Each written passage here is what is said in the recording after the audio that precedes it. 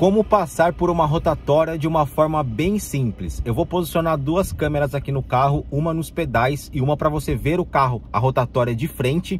E a aula será dividida em duas partes também. Na primeira delas, que é a maior dificuldade, a gente vai entrar na rotatória e trocar de marchas dentro da rotatória. O pessoal lá no Instagram falou para mim que essa é a maior dificuldade.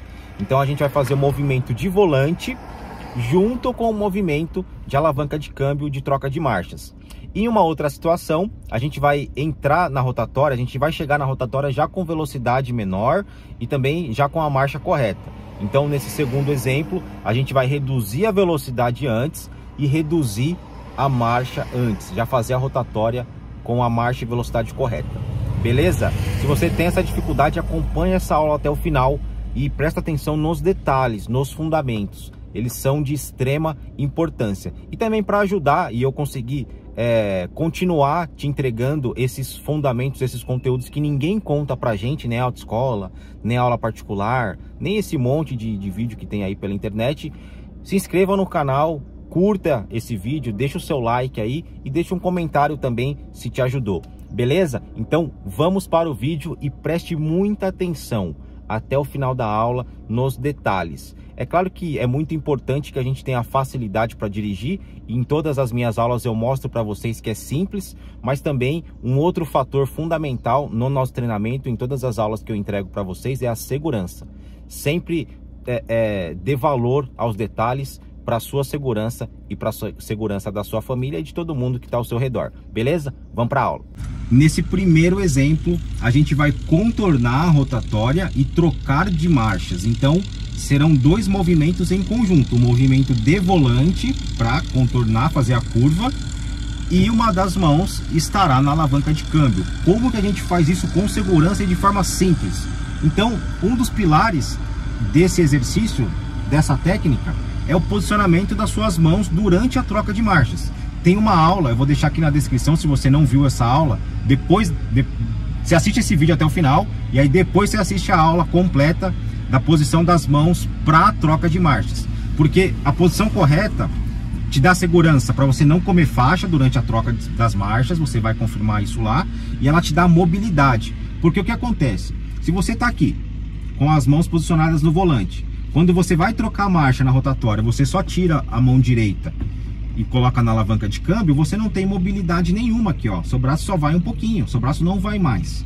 Agora, se você faz da forma correta e posiciona sua mão no local certo, que além de não comer faixa, vai te dar mobilidade, ó, ó.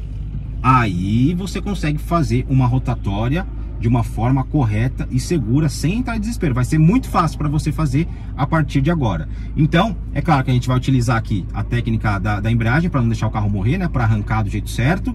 E a técnica do solavanco, porque a gente vai trocar de marchas e tem que ser sempre aquela suavidade que você já aprendeu.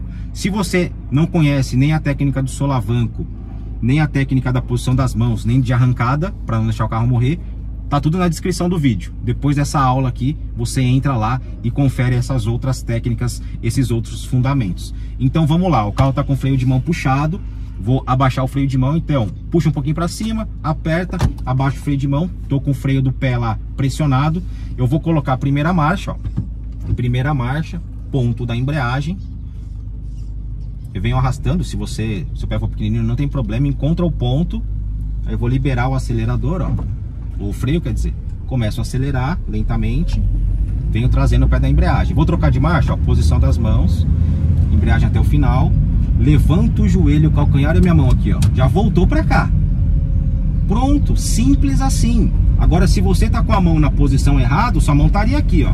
Aí já, já deu até dor aqui no meu cotovelo, porque aí você não tem segurança nenhuma. Segurança zero, posição zero, posição, enfim, aqui você não tem controle nenhum do seu carro. Aí você entraria em desespero.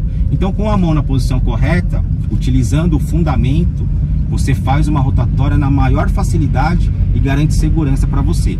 Agora a gente vai fazer um, um, outro exemplo de rotatória, entrar numa rotatória em uma outra posição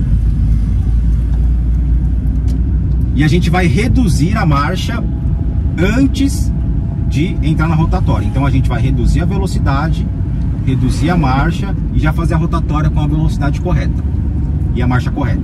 Beleza? Olha só, nesse exemplo aqui, eu tô vendo a rotatória, tô em terceira marcha, vou precisar reduzir, eu já reduzo a velocidade, posiciono minhas mãos, reduzo a marcha, levanto o joelho e o calcanhar para cima, curva para a direita, tem uma parada obrigatória aqui. Se você está em exame, você está treinando para passar na prova da autoescola, você tem que parar ali e fazer a parada e, e sair do jeito que o instrutor está te ensinando. Agora, se você vai vai utilizar esse fundamento para a vida real, você não para nessa situação aí.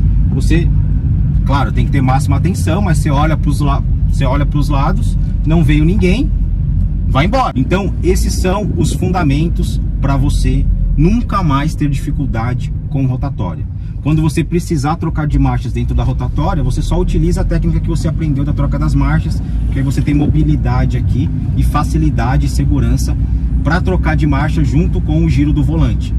Se você puder reduzir a velocidade antes, se você vê que você está em uma velocidade maior para passar na rotatória, você faz a redução da velocidade, reduz a marcha, né, utiliza a técnica do joelho e aí você já entra na rotatória com sua mão na posição correta pro lado que, que você for, for entrar aí na rotatória.